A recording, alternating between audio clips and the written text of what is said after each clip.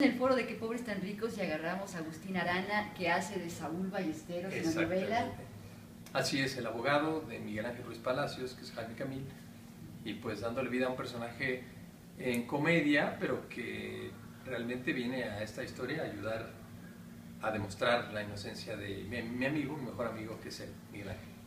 Tú me estabas platicando hace un momento que te encanta hacer la comedia. ¿Qué tan difícil es hacer reír a la gente? De lo que es el drama de hacer llorar y toda esa parte que es completamente diferente. Es más difícil hacer reír a alguien, es más difícil. Lo que sucede es que, por ejemplo, dentro de, está hoy en día muy, muy de moda o es muy común ver en los melodramas, algunas historias dentro de la misma historia, valga la forma de decirlo, eh, pues algunos personajes que están en comedia, entonces como la parte ligera de la historia y algún personaje que es como más chistorete o más simpaticón, pero acá toda la historia de qué pobres tan ricos, que está muy bien escrita, muy bien dirigida, realmente lo que nosotros hacemos es dentro de una seriedad del melodrama, de una situación real, dentro de la historia, eh, pues sacarlo con personajes que vas tejiendo, que vas elaborando, que les que construyes, en donde pues tienen sus rolling gags, tienen ya amarrados características muy, muy propias de cada uno de los personajes y entonces, pues la gente va como adoptando al, al que le gusta o a los que les, a lo mejor no, nada más es uno, son varios, y empiezas a, llevar un personaje que empieza a hacer reír a la gente por la forma de hablar, por la forma de decir las cosas, por la situación en sí que está muy bien escrita. Entonces, eh, ¿qué tan difícil es? Sí es difícil, pero cuando lo disfrutas, cuando lo haces con, con bien dirigido, cuando lo haces con esperándote y todo, pues lo logras, ¿no? Y si traes un poquito ese, el tono de la comedia y que, que no es algo fácil, tiene otro tipo de, de timing en, dentro del, de la dirección y de la interpretación, pues eh, lo logras. La línea entre hacer comedia y caricaturizar. caricaturizar. caricaturizar. Caricaturizar. Eso puede llegar a suceder. Es muy fácil, es muy fácil, desgraciadamente, porque luego nos engolosinamos y empiezas con un personaje que va en la comedia o que estás en comedia de situación y empiezas de repente, no sucede también en teatro, ¿no? Que ves que un chiste pegó muy bien y la siguiente vez lo haces más fuerte y más intenso y le empiezas a meter de tu cosecha y al rato ya te vas al... Y yo que muevo el cuello en la historia mucho hago así y al ratito ya estoy haciendo así, ¿no? Ya llega un momento que te vas a la farsa es muy fácil que caricaturices un personaje, que te vayas a la farsa, entonces tienes que tener conciencia y, buscar la manera de no irte tantas rayitas arriba, y para eso está el director también. El director te dice, eh, eh, eh, a ver, estás un poquito subiéndote de tono. Y, es, y eso está en ti, está en la dirección, y el darte cuenta, estar consciente de, la historia del personaje y nunca, nunca salirte. Obviamente, de que de cómo empieza, cómo termina el personaje cambia mucho.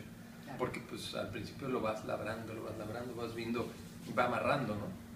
Y, y sí es fácil que eso pase, pero bueno, para eso está el, director. Agustín, estabas platicando que eres uno de los actores, y hay que decir que no a todo el mundo le, le toca el estar ligando novela, ¿no? Estás en una novela, pasas a otra novela, ¿a qué horas descansas? Pues descanso cuando, cuando tengo tiempo. Sí son jornadas de repente muy pesadas y buscas tus espacios, pero lo que es una realidad es que o sea, yo agradezco esa racha porque pues sé que está muy competido, sé que pues, no es fácil, pero sin embargo cuando me dicen cuándo vas a descansar, yo les digo pues cuando vengan las vacaciones obligadas, mientras tanto, mientras esté yo ahorita en edad productiva y buscando y teniendo la, la, suerte, la virtud y gracias a Dios de seguir ligando novela tras novela, lo seguiré haciendo. Obviamente voy a cuidar mis personajes, tratar de, si tengo dos o tres opciones, si esa gracia pudiera yo tener, bueno, pues tratar de escoger el que más me conviene, eh, valorarlo y, y, por supuesto seguir trabajando para el público, porque pues trabajamos nosotros para comer, para llevar una vida este, saludable y, y mejor calidad de vida, pero lo importante también es llegar al público y que el público le guste lo que estás haciendo. Hablando del público, bueno, pues esta es la página del CEA Eugenio Cobo y hay muchísima gente que quiere algún día llegar a actuar o que están estudiando precisamente en este momento pues, en, la Academia de Eugenio Cobo, ¿no? Entonces, ¿algún mensaje que les digas, dar, no sé, algún tip?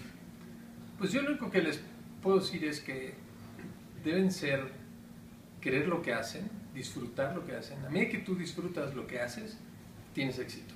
Si lo haces como por cumplir o a fuerza, pues las cosas no resultan. Entonces, ser pacientes, ser eh, insistentes con lograr sus, sus objetivos, ¿no?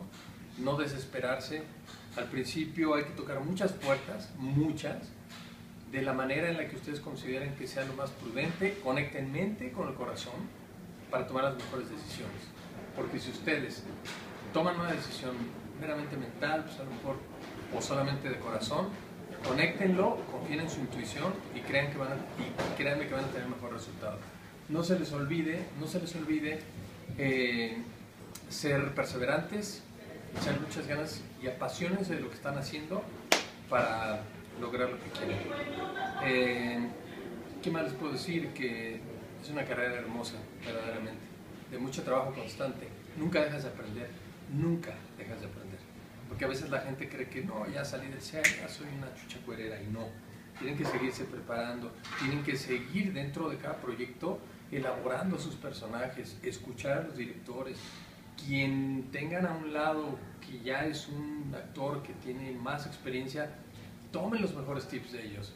Busquen a ver qué le pueden fusilar o qué consejos les pueden dar y, estén con la antena abierta, porque esto es de continuo aprendizaje y nunca cuando crees que, ah, esto ya lo he hecho, te topas con circunstancias en el entorno que no tenías contempladas y tienes que sacar la casta y las agallas ahí para, para sacar la escena o para lograr el proyecto. Entonces, échenle ganas.